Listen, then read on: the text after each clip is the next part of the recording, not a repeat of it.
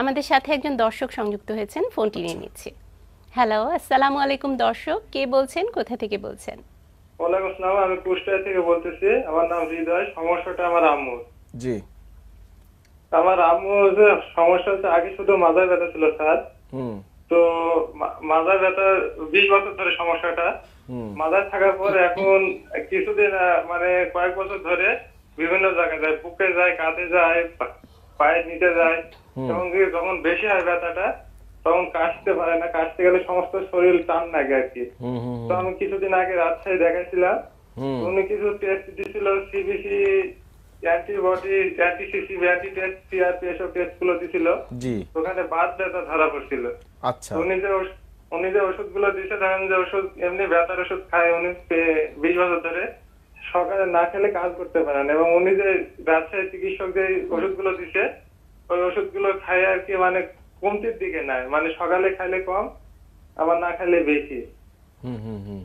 তো এই সমস্যা ধরেন যে যে ওষুধগুলো দিছে ওগুলো খেয়ে ধরেন যে পেটের মধ্যে বুকের মধ্যে জ্বালা পোড়া করছে এবং শুধু ব্যথার ব্যথার ওষুধ আর গ্যাসের ওষুধ খেলে এই সমস্যাগুলো হচ্ছে না। বাদ বাকি ওষুধগুলো খেলে এই সমস্যা হচ্ছে। ওনার বাদ ব্যথা কি সারবে না কোনো ই করতে হবে যেমন ধরেন যে ক্লোফেন্স আর দিছে একশো মেট্রোটেক্স দিছে ফলিসন এইসব ওষুধগুলো দিছে। ওনার বয়স কত বললেন? আটত্রিশ বছর। আচ্ছা জি ধন্যবাদ আমি উত্তর দিচ্ছি। ওনার মা এক প্রকার আথ্রাইটিস রোগে আক্রান্ত। তো arthritis more than two hundred types আছে। অনেক ধরনের। হ্যাঁ যেহেতু অলরেডি একটা ডিজিজ মডিফাইং ড্রাগস দিয়েছে ডাক্তার সাহেব অবশ্যই বোঝা যায় আইদার রিউমাটয়েড আর্থ্রাইটিস বা এই জাতীয় কোনো আর্থ্রাইটিস উনি আক্রান্ত আর্থ্রাইটিস আরও স্পেসিফিক টাইপস আছে। তো আমি আমি মনে করি ডাক্তার সাহেব যে ওষুধগুলো দিয়েছে এটা কোনো সাইড ইফেক্ট হলে বা কোনো প্রবলেম হলে আপনি একটু ডাক্তার সাহেবের সাথে আবার একটু যোগাযোগ করবেন। কারণ এটা উনি ফলো আপ করবে উনি কারেকশন করে দিবে। এটা ভালো ওনার জন্য একটু কারেকশন করে দিলে। কারণ কিছু ওষুধ আছে বন্ধ করা যাবে না সেটা ডাক্তারের পরামর্শে আপনাকে খেতে হবে। আর আমার কাছে মনে হচ্ছে পাশাপাশি ওনার মেরুদণ্ড বিভিন্ন নার্ভের কম্প্রেশন থাকতে পারে। সেই ক্ষেত্রে পুরা স্পাইন, মেরুদণ্ড একটা এমআরআই করে দেখা যেতে পারে। আর এই রুগীগুলাকে নিয়মিত হাঁটা চলাফেরা করতে হবে। যেমন এই যে রোদ উঠলে, এখন তো শীতকাল, শীতের সকালের যে রোদ, এটা অনেক উপকারী। ওনাকে নিয়মিত উঠে হ্যাঁ হাঁটতে বলবেন। হাঁটা মানে বাসার কাজ করাকে হাঁটা বলে না। অনেকে মনে করে যে, সারাদিন কাজ করি তো আমার হাঁটা হয়ে যায়। না, হাঁটতে হবে ফ্রি, রাস্তায় হাঁটতে হবে। এবং হাঁটার জন্য হাঁটতে হবে। ধরেন আধা ঘণ্টা, এক ঘণ্টা এইভাবে হাঁটতে হবে। ব্যথায় গরম শেক দিতে বলবেন। আর যেহেতু ওষুধে কিছু সমস্যা হয়, ওনার সাথে কথা বলে ওষুধগুলো কারেকশন করে নেন। আর এটার জন্য আরও ভালো চিকিৎসা করতে গেলে হয়তো আপনাকে একটু অ্যাডভান্স যেমন রিহ্যাবিলিটেশন, বিভিন্ন থেরাপি চিকিৎসা নিতে হবে। প্রপার জায়গায়, প্রপার ওয়ে। তাহলে আরও ভালো থাকতে পারবেন ইনশাল্লাহ উনি। হ্যাঁ আপনি যেটা বললেন যে দুইশো রকমের আর্থ্রাইটিস রয়েছে। এর মধ্যে তো নিশ্চয়ই কিছু কিছু আছে বেশি কমন মানুষের বেশি হয়ে থাকে। তো সেই ক্ষেত্রে কি ধরনের সিমটমগুলো দেখা দেয়? কমনের মধ্যে যেমন রিউমাটয়েড আর্থ্রাইটিস এটা আমরা প্রায় রুগী পেয়ে থাকি। সেক্ষেত্রে সকালে ঘুম থেকে উঠতে রুগীর অনেক কষ্ট হবে। জোড়ায় জোড়ায় ব্যথা মানে অনেকগুলা জোড়া স্পেশালি স্মল জয়েন্ট হাতের জোড়া পায়ের পাতার আঙ্গুল হাঁটু এগুলা এগুলা ব্যথা হয়ে যাবে। ব্যথার সাথে একটু হালকা হালকা জ্বর মনে হতে পারে। অনেক সময় জোড়া ফুলে যেতে পারে। তারপরে অনেক ক্লান্ত লাগবে সে উঠতে পারবে না সকালে ঘুম থেকে উঠতে মর্নিং স্টিফনেস বলা হয়। অনেক সময় স্কিনে বিভিন্ন চেঞ্জ আসতে পারে নোডিউল হতে পারে। এভাবে হয়তো দিনের বেলা যখন আস্তে আস্তে দিন হতে থাকে একটু একটু কমে আসে বিকালের দিকে সে মোটামুটি চলাফেরা করতে পারে আবার রাতের দিকে আস্তে আস্তে আস্তে বাড়তে এটাই বাড়তে আসলে এটা হয়। খুব বেশি কমন কমন টাইপের তো এছাড়া আরও পাশা- পাশাপাশি বিভিন্ন দীর্ঘমেয়াদী যদি আর্থ্রাইটিস আক্রান্ত থাকে আমরা প্রায় রুগী পাই। কারও হাঁটু বেঁকে গিয়েছে কারও হাঁটু পিছনের দিকে চলে গিয়েছে কারও ডিফর্মড হয়েছে বা ফিক্সড হয়ে গিয়েছে আঙ্গুল নাড়াতে পারে না। যদি তার এই রোগটা অনেক দিন থেকে থাকে এবং যদি কোনো রকম ট্রিটমেন্ট না হয়ে থাকে। হয় স্পেশালি পুনর্বাসন না হয় তখন এই রোগগুলা দেখা দেয় এই সমস্যাগুলা দেখা দেয়। রুগী মানে তার ব্যক্তিগত কাজ করতে অসুবিধা হয় একটা গ্লাস ধরতে অসুবিধা হয় টয়লেট করতে অসুবিধা হয় জামা গায়ে দিতে অসুবিধা হয় বা বিভিন্ন অ্যাবনর্মাল হাঁটে আমরা বলি gait gait pattern abnormal gait pattern হতে পারে। তো এই থেকে যা কারও যদি গোড়ালি সমস্যা হয় এক এফেক্ট হয় এই গোড়ালি থেকে দেখা যায় কয়দিন পরে কোমরের পিএলআইডি হতে পারে। তো এই জাতীয় একটা কনসিকুয়েন্স হতে পারে। কমপ্লিকেশনগুলা মানে প্রাইমারি থেকে সেকেন্ডারি সেকেন্ডারি থেকে টার্সিয়ারি এইভাবে কিন্তু আপনার ফিজিক্যালি সে ডিজেবল হয়ে পড়তে পারে এবং দীর্ঘমেয়াদী ফিজিক্যাল ডিজেবিলিটির কারণে আস্তে আস্তে সে মানসিকভাবে সে কিন্তু ভেঙে পড়তে পারে বা মানসিক রোগে আক্রান্ত হতে পারে। এটা খুব স্বাভাবিক যখন সে নিজের কাজটা নিজে করতে পারবে না। এক গ্লাস পানি ঢেলে খেতেও যখন কষ্ট হবে বা অন্যের সাপোর্ট নিতে হবে মানসিকভাবে সে সে নিশ্চয়ই দুর্বল আস্তে হয়ে ইয়ে হয়ে পড়ে। আর যেমন আর আরও কিছু ইয়ে আছে যেমন অ্যাঙ্কালোজিং স্পন্ডিলাইটিস স্পেশালি পুরুষদের বেশি হয়ে থাকে। তো এই রোগে রোগী আস্তে আস্তে কুজো হয়ে যায়। সামনের দিকে মেরুদণ্ড ফিক্সড হয়ে যায়।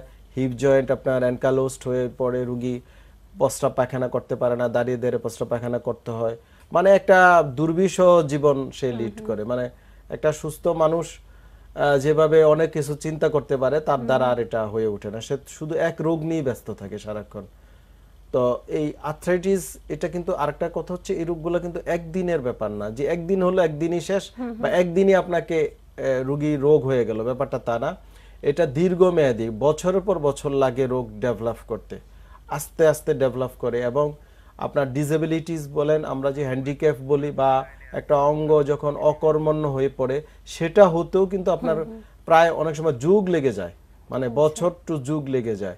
তো এই ক্ষেত্রে রুগীর অবহেলা বা অ্যাপ্রোপ্রিয়েট চিকিৎসা না পাওয়া প্রপার জায়গায় না যাওয়া বা অনেক ক্ষেত্রে চিকিৎসা অপ্রতুলতা থাকতে পারে। আমাদের সাথে একজন দর্শক সংযুক্ত হয়েছেন আমরা ফোনটি নিয়ে আচ্ছা। আছি হ্যালো আসসালামু আলাইকুম দর্শক কি আছেন আমাদের সাথে? হ্যাঁ আমি তাহিদুল ইসলাম চট্টগ্রাম থেকে আমার বয়স হচ্ছে বাইশ। জি দর্শক আমরা সবাই শুনতে পাচ্ছি আপনার সমস্যার কথা বলুন। হ্যাঁ সমস্যাটা হচ্ছে আমি হচ্ছে স্যারের ওল্ড পেশেন্ট আমার পিএলআইডি সমস্যা ছিল। তো আমি স্যারের কাছে মানে এক মাস রিহেবিলিটেশন ছিলাম। তাও আমার মানে পুরোপুরি পেন পুরোপুরি পেন রিলিফ হয় নাই and আমাকে স্যার বলছে আরেক মাস দেখার জন্য। এখন আমি এক মাস মানে আবার এক মাস দেখলাম মানে বোর্ড আসছিলাম। এখন কি আমার কি স্যারের কাছে আবার যাওয়া উচিত? নাকি আমি অন্য কোনো সিদ্ধান্ত নেব? এখন কি সমস্যা হয় বর্তমানে? এখন হচ্ছে আমার মানে রেফার পেন যেটা ছিল ওটা আবার হয়ে গেছে মানে more than five minute I am not able to working এ কেউ হয়ে যাচ্ছে আচ্ছা আচ্ছা। আপনি তা হ্যাঁ আচ্ছা। আপনার আপনার একটু আবার ফলো আপে আসেন যেহেতু দ্বিতীয় হ্যাঁ দ্বিতীয়বার আবার একটু কষ্ট করে আসেন আসলে আমি দেখে দেবো ইনশাল্লাহ। যে আর আপনি এই ফাঁকে যে এক্সারসাইজগুলো আমি দিয়েছি এগুলো একটু মেনে চলেন। আর সামনে ঝুঁকে কিছু করবেন না সামনে বা সামনে কুজো হয়ে এক্সারসাইজগুলো একটু মেনটেন করেন নিয়মিত। আবার একটু দ্বিতীয়বার একটু ফলাফে আসেন আশা করি ইনশাল্লাহ বাকি যে সমস্যা থাকবে এটা চলে যাবে। দীর্ঘমেয়াদী যে রোগগুলো রয়েছে আসলে এগুলো মানে ভালো হতেও কিন্তু সময় লাগে। হ্যাঁ। সেটাও একটা ব্যাপার। আর যেটা বলছিলেন যে পুনর্বাসন পুনর্বাসনের মাধ্যমে তাকে সারিয়ে তোলা সেটিতে কতটা সময় লাগতে পারে বা সাধারণত কি অবস্থা হয়? এটা রুগী মানে রোগ আক্রান্ত হওয়ার পর তার কতটুকু ডিসেবিলিটি ডেভেলপ করল? আমরা যেমন ডিসেবিলিটি ডেভেলপমেন্টে বলি প্রাইমারি সেকেন্ডারি বা ডিগ্রি অফ ডিসেবিলিটিস ধরেন first degree second degree third degree এখন কেউ যদি ডিসেবিলিটিস এ অবস্থায় নিয়ে আসে আমাদের কাছে যে থার্ড ডিগ্রি বা ফোর্থ ডিগ্রি অনেক সময় ফোর্থ ডিগ্রির পরে সার্জিক্যাল ইন্টারভেনশন ছাড়া আর পুনর্বাসন করা সম্ভব হয় না। মানে আচ্ছা। এমন হয় অনেক সময় যে জোড়া একেবারেই নষ্ট হয়ে গিয়েছে। তখন অপারেশন করে দেন আবার পুনর্বাসনে যেতে হয়। তো এইটা নির্ভর করে যত আর্লি আসে তত আর্লি রেজাল্ট আসবে। আপনার প্রাইমারি বা সেকেন্ড ডিগ্রি ডিসেবিলিটি যদি হয় তখন ধরেন দুই তিন সপ্তাহ সময় লাগতে পারে সর্বোচ্চ। আর একটু বেশি হলে আর সময় বেশি লাগবে। ইট ডিপেন্ডস অন মানে রোগীর অবস্থা অনুযায়ী রোগীর এবং এখানে বয়স একটা ফ্যাক্টর আপনি একটা ইয়াং বা মধ্যবয়সী রুগীরে যত দ্রুত পুনর্বাসন করতে পারবেন ওল্ড এজ রুগীর ক্ষেত্রে সেটা সম্ভব হয়ে ওঠে না বা দেরি হয়। বিকজ তার অনেক কোমরবিডিটিস থাকতে পারে দেখা যায় আরও বিভিন্ন সমস্যা থাকতে পারে। রোগ হ্যাঁ রোগ থাকতে পারে যেগুলা হয়তো আপনাকে এই রোগকে এফেক্ট করে বা আপনার মানে আপনি চাইলেও যে একটা রুগীকে এক্সটেন্সিভ কোনো এক্সারসাইজ করাবেন কোনো থেরাপি দিবেন পারবেন না। কারও যদি হার্টে যেমন পেস মেকার বসানো থাকে বা রিং পরানো থাকে বা ইমপ্ল্যান্ট থাকে শরীরের কোথাও অনেক ক্ষেত্রে আমরা অনেক থেরাপি দিতে পারি না। না দেওয়াই যাবে না যেখানে নিষেধ করা আছে বা কন্ট্রাইন্ডিকেশন